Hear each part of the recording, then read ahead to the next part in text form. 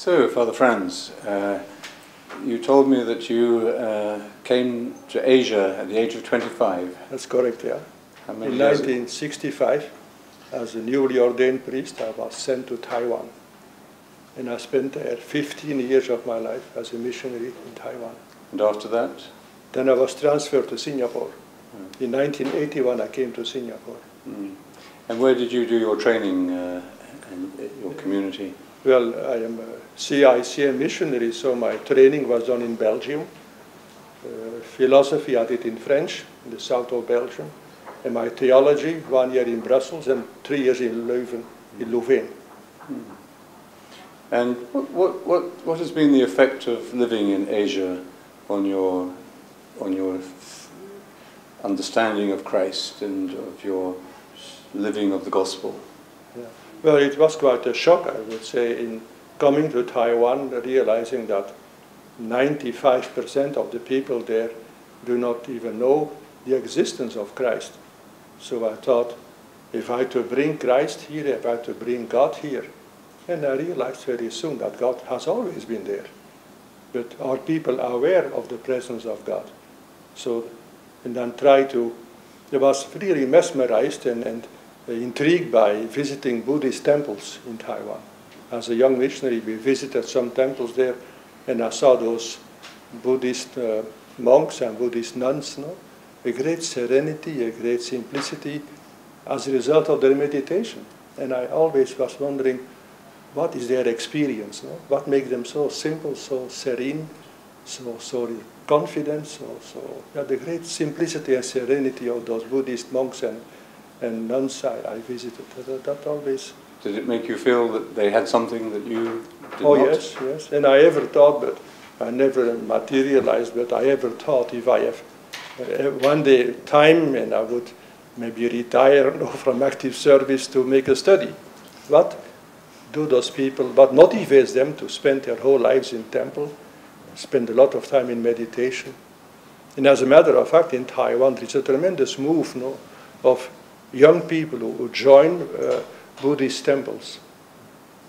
In Puli, there's a great big temple, and they have over 1,000 uh, nuns and, and monks who, who live there in great simplicity of lifestyle. So they must have an experience that is very fulfilling, otherwise, they would not go there and would not stay.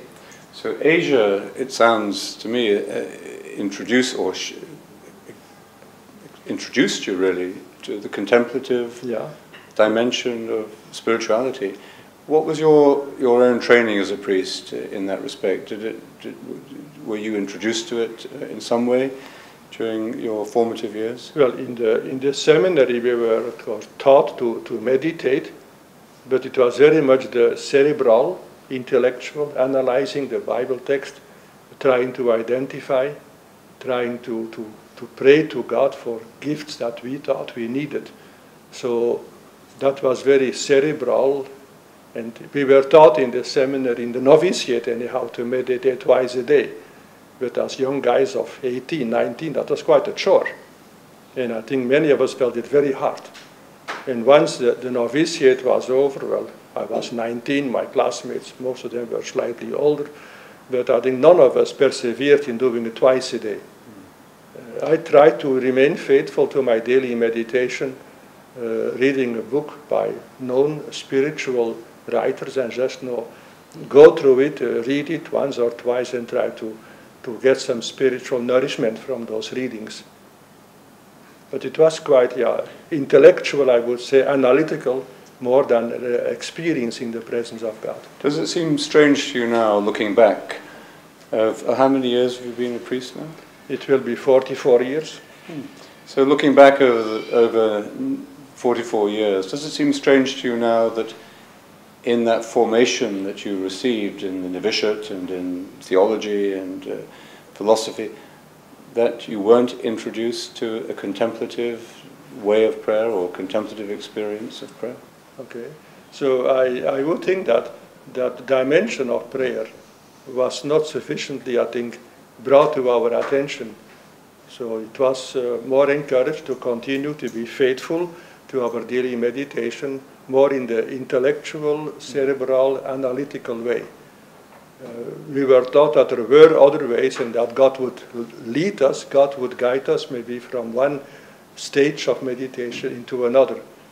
And I must confess that coming to Asia, I, I like to read books and I, I did my own homework reflecting upon on the, on, on the presence of God. And that word no, really uh, fascinates me ever more, the, the presence of God. I would say, as distinct from the existence of God. I think God's existence is more philosophical. Does God exist? God knows. But the, the presence of God, I think, and the more we are aware of and immersed in the presence of God, I believe, the more our lives become uh, very fulfilling and there is like a, a deep awareness and almost a bodily sense, I would say, glow of, of, of the presence of God wherein we live and move and have our own, our own existence. So, eh, so in that way, I, I thought that Christianity becomes more like experiencing God the way Jesus experienced God. To, to sense the presence of God the way he sensed it. Which I think is wonderfully expressed when, when the Philip in the Gospel of John says, uh, Lord, show us God, your Father. He said, but Philip, how can you ask that question? When you see me, you see God. Because I dwell in God, and God dwells in me. And in that way, no, I think the, the, the Bible or the experience of Jesus is not a matter of archaeology, that it happened to him 2,000 years ago. That we can, with some nostalgia, some sad feelings, say, er well, good for him, but what about us? I believe what has happened to Jesus, and that is very sound theology, I think, no, must happen to us. That we too live in God, and that God lives in us. And to grow ever deeper aware of that, I believe that is for me like the essence of, of our faith. What